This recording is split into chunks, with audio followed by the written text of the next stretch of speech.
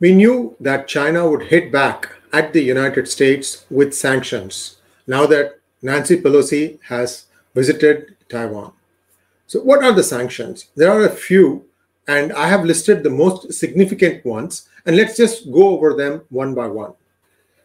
Future phone calls between uh, Chinese and US defense ministers is going to be not there. They are going to cancel all the calls. So, what it really means is if there is a crisis situation developing and to diffuse the tension, high level calls will not be made, at least from Chinese side.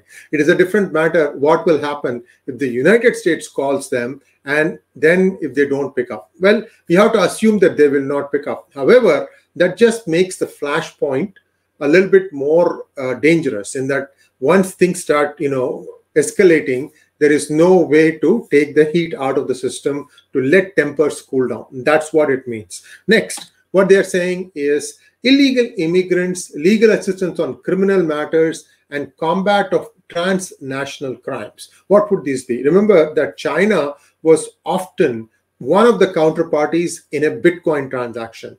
And we know that Bitcoins were used primarily as a way of exchanging money for drugs and and those kinds of crimes that uh, China used to help United States with, they're saying that they will no longer work with them.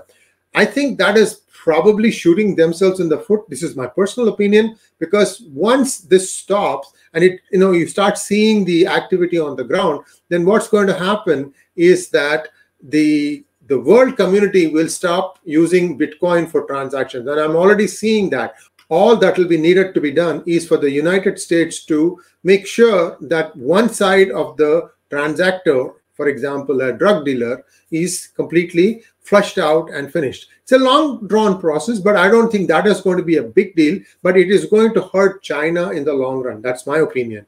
Illegal immigrants, well, Chinese illegal immigrants uh, uh, you know going to uh, united states uh, that's not a big number. However there's something there that i'm missing. Maybe china was helping united states and tracking some illegal immigrants in the us because china has much more of an active role in canada i'm told. So we don't know if that could be one of the things that uh, us was working with china on. And that part looks like that also is going to be downplayed which means possibility of illegal immigrants from China might come into Canada and then sneak into United States. So that's a problem. United States have so many people trying to sneak in. This will be one among 100 other countries. And the next one is legal assistance for uh, on criminal matters. I, I don't know. This is like cases where uh, United States may be trying to uh, get China's help on some legal cases. I don't think that's a big deal. US can, uh, you know, make up for that. My opinion again. Taiwan can help them there. Synthetic opioids. This is a big deal. Fentanyl is a lab-grown opioid, which is why it's called synthetic opioid. Well, fentanyl has a medical use for those people with advanced cancer where the pain is very, very high they uh, the doctors usually prescribe fentanyl. Fentanyl is believed to be 50 to 100 times more potent than morphine. And morphine is a normal drug given for cancer patients to alleviate their pain. So the problem is if, if fentanyl is used only for medicinal drugs, that's one thing.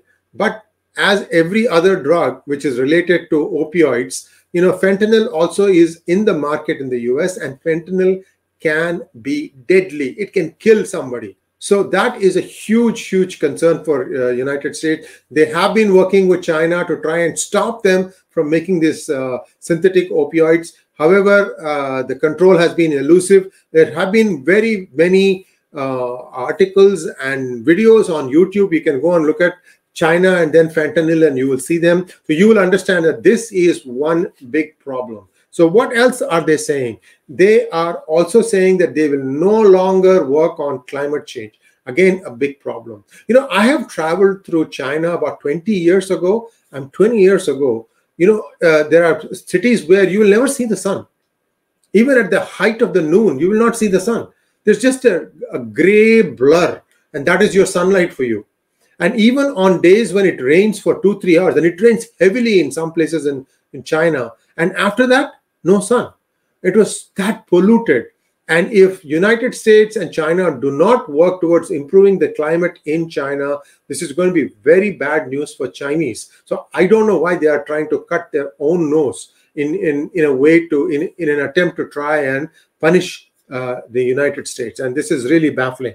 Finally, this is the most important one, or uh, one of the most significant ones.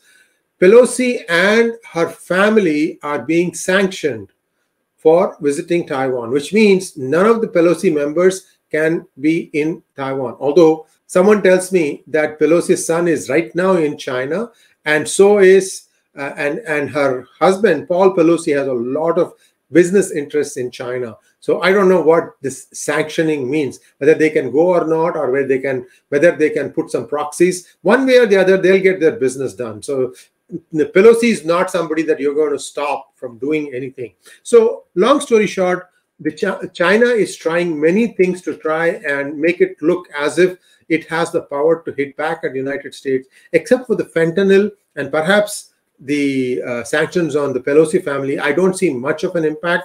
However, it's just my opinion. I could be wrong. Um, follow this column. There may be some, you know, developments in the future, and I'll be happy to post them.